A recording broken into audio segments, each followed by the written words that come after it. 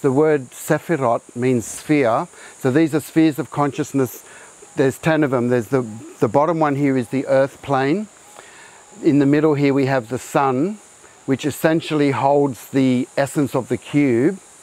And at the top here we have Kether. So Kether is the 10th sphere, the celestial plane. So this, and in between there's 22 pathways which relate to the 22 tarot cards, the 22 letters of the Hebrew alphabet. And this is a whole universe galactic diagram and people have spent their whole life on it.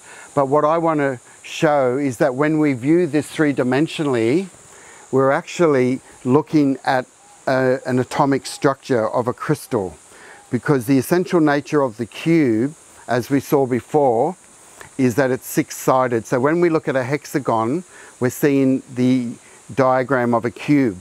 But this model that I'm showing you here is that it's a double terminated crystal. This is a Vogel crystal, and you can see that what they were portraying was the knowledge of a crystal. The crystal, by definition, that makes it different from a rock is that a crystal represents pure symmetric order at the atomic level. So these are the codes of creation. You'll see many other versions of this so there'd be this kind of diagram here where there's the pillars.